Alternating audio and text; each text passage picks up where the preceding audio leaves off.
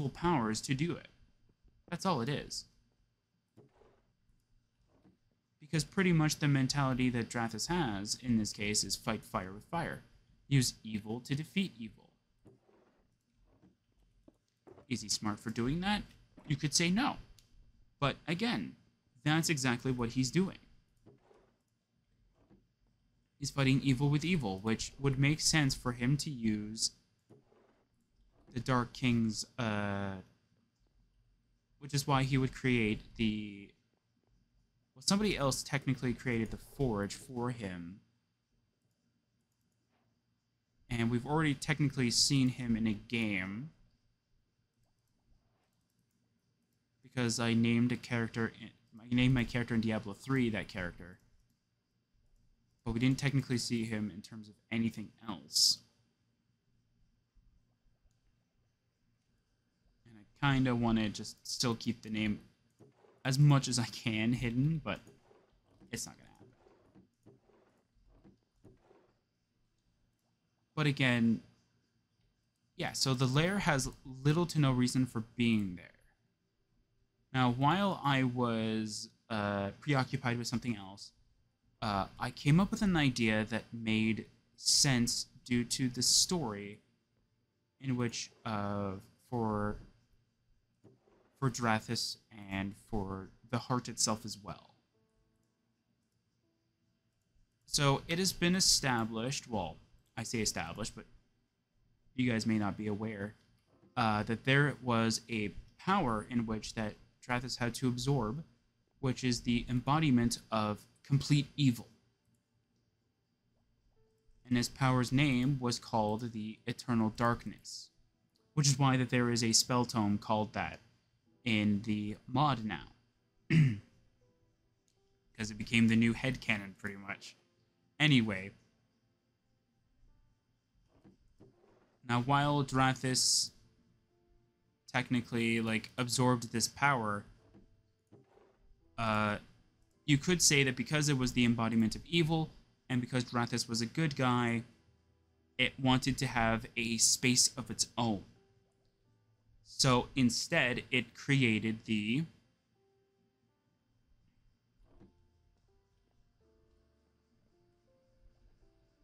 uh, it created the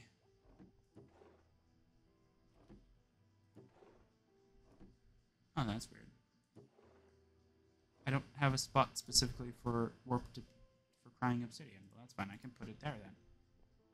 But yeah, so back on topic. So back on topic to this. So the eternal darkness uh, would have created a small pocket for itself, which it would have done. So you could say that the vile Lair was that pocket. Now the reason why Drathus never knew about it was because uh, the heart never informed him of it because it wasn't really something that he should be aware in a way so it wouldn't have been it wouldn't have uh, informed him of it but another reason is because the place was always incomplete the eternal darkness was always 90% like like complete so while it created the lair all nice and shiny kind of thing, it forgot to put the door to go in. So pretty much nobody could go in it. And while that could be one of the head headcanons that could be there, another one is that the evil Dark King, the one who originally created the heart, Archimus, uh, uh, originally created the uh, the lair specifically for him to inhabit while he was waiting for him to for himself to have more than enough energy and more than enough power to escape from the heart itself so that he can go and wreak havoc on the world. This one's very, very loose though. Like it's it's a very loose thread. And I don't like that. That it's so loose that it doesn't it's not that it doesn't make any sense, it's that it just doesn't feel like it, that's exactly what would have happened. So I don't like it nearly as much, but it can fit. It's just not the way that I want it to. It's just not the the system that I wanted. If that makes sense.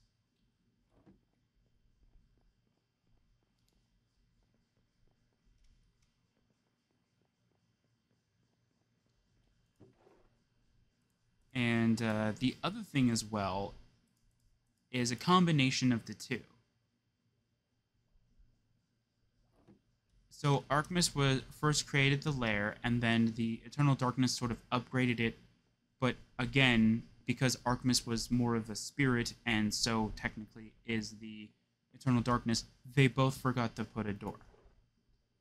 Again, this is not the way that I wanted, but again, same thing.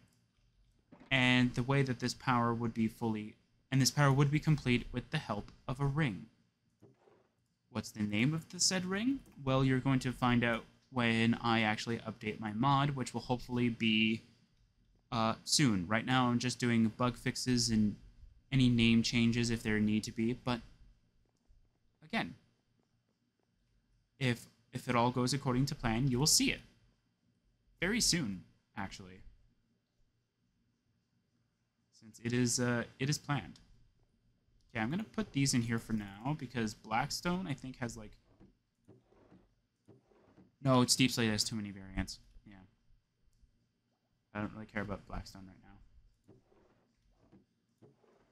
As sad as it is, I don't really care about it. But yeah, so technically, Drathus did actually get it. Like the Dark King did get an upgrade in this uh, new version. However, it's player based and a lot of the planned features that I had beforehand will be added. And each and every area will be unique in a way to what I believe that each and every area should be. So what I was thinking though was that for the uh, Dumbarrow Cave, or as I'm gonna nickname it, uh, the Hideout, is going to be where you would stash your valuables.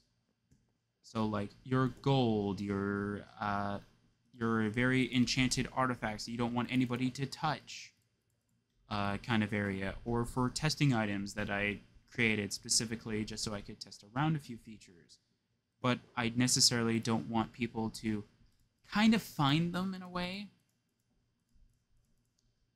and the lair, or the Vile Lair, or Deep Scorn Hollow, or as I'm going to nickname it, the lair, uh, that in particular is going to be for anything that is morally compromising.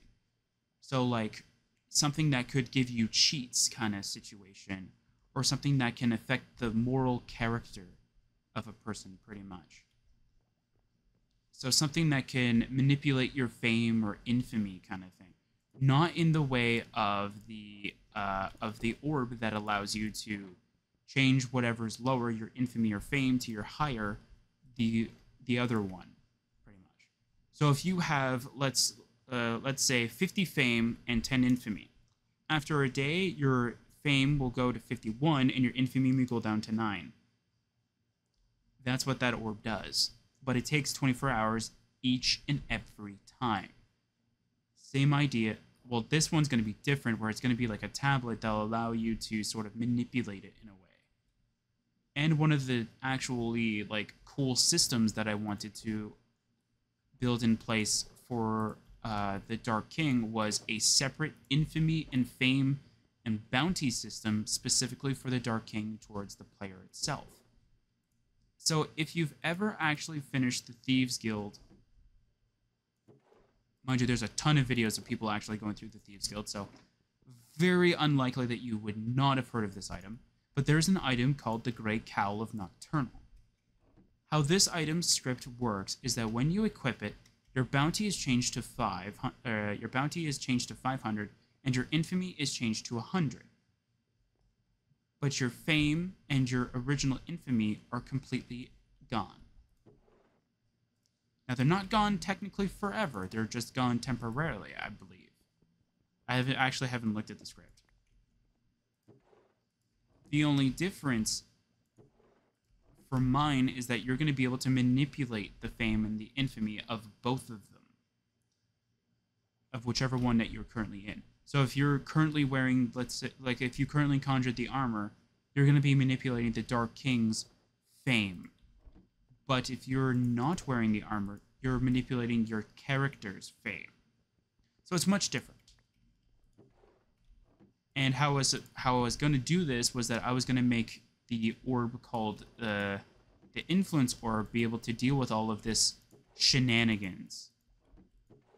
However, that idea got scrapped because of how certain items, like certain things, so I decided against that. So instead, I'm going to add it to conjure and revert thy form. So conjure is going to change you from your fame and infamy to the Dark King's fame and infamy and bounty, technically. And how the revert thy form is going to work is that it's going to convert uh, the Dark King's fame and infamy back to your fame and infamy. And that's how that system is going to work. Which I think would be a very cool system. But this would also cause a few issues with our playthrough. If you don't know what I'm talking about, allow me to explain. I'm going to find a spot for this stuff. Later. Actually thought we'd uh, actually get all this done before the end of the session, but I guess not. My bad. Uh, so again, allow me to explain why this would cause issues for our character. So if you are not fully aware, allow me to explain. So our character in the Oblivion modded playthrough has been playing with the armor the entire time without this fame and infamy system pre-placed. So if after that fact, I would have to go through either the entire series, video by video, in order to figure out what quests we've done with the armor equipped and without the armor equipped, in order for for both the Dark King and our player to have the accurate fame and infamy count that it should technically have. However, this causes an issue. For, for me mostly. I have to go through uh, how many videos technically do I have? I think I have like 324 videos. That means I have to sit through all of that footage. Yeah, 324. At the time of this recording, I think, oops, my bad. Uh, at the time of this recording, I think only 322 went up. That means I'd have to shift through all of that, all of those videos find out what each and every quest gives at any stage, and do that for each individual. So if we're wearing the Dark King's armor and let's say a quest gives you 10 fame, that means the Dark King gets 10 fame and our character loses 10 fame. So what I'm thinking, thinking for it is that I'll just make both of them equal at some point, but then still keep the thing there. Now there is an item that is geared towards fame that I have. However, it's already been technically future proofed for this change in a way so it works. Because of how the system is going to work, it's going to change your character's infamy and fame to what technically it should be for each individual character. But there is a weapon that only works if the Dark King's infamy, or fame, sorry, is at 100. So guess what that means? It's already been future proofed because it takes what your player's current infamy or current fame is, or technically it takes both, and then it subtracts the fame or the infamy from the fame, and then it figures out if you're worthy. You have to have pretty much a 100 fame over your infamy in order to wear the sword, or pretty much to equip the sword. Anyway, So pretty much, if you think about it that way, the sword has already been future-proofed. Because if you try to equip the sword while you're not the Dark King, it'll tell you that you are not the Dark King, you cannot hold it. So, it's already been future-proofed already.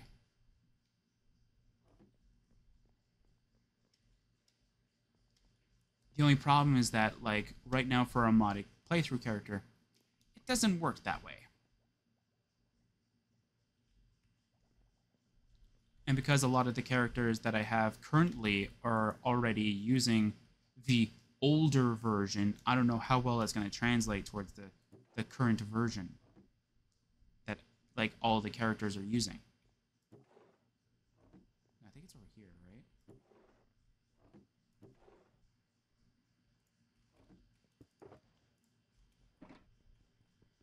But yeah, so that's pretty much what I got to work on. Uh, I'll pretty much finish all this stuff off screen. I'm sorry, I thought that this was going to be done like like this was going to be done in like a half an hour because usually I'm quite fast at doing this. But I guess talking about Oblivion, well, mainly it's all tools, so I guess I could be excused for that. Since they were all mostly tools, and these were all technically not separated in any way, shape, or form. So, yeah. And plus, these also need to be empty too. These red ones. And this purple one. All this stuff needs to be. And this just needs a spot. And all these need to go to that book area. But yeah. So that's going to be it for now. I apologize for the fact that we took so long into doing this. However, I wanted to show off that there was a lot of changes happening to this area. And not to mention, though, that, like, you know, like there's still things in the pipework that are being done. Uh, so yeah, so I'll see you guys next time for some more Sercacraft.